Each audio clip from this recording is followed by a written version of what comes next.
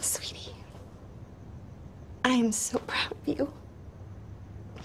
The chastity ball is so important to your father. God, I miss the firm support of my polyester Cheerios uniform. The control panel hid my baby bump perfectly. Hmm. That's odd. We had this custom made a month ago.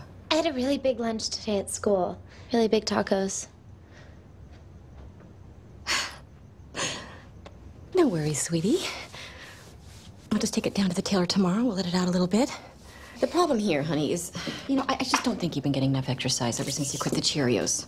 Am I right? Yeah, yeah, that's right. I mean, you used to spend hours every day doing backflips and high kicks. And now, I mean, now you spend all your free time sitting on a stool in the dark singing show tunes. Do you know how many calories you burn singing? Hmm? Not very many. Judy! Glenn Beck is on. oh, wait, hold on, hold on. I want to see. Daddy, it's not like we're getting married. I don't want.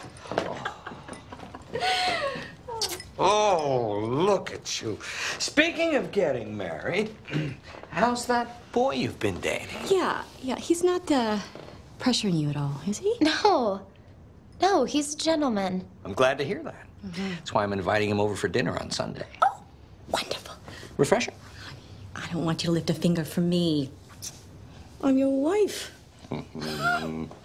Uh, my little lemon drop. I gotta go catch Glenn.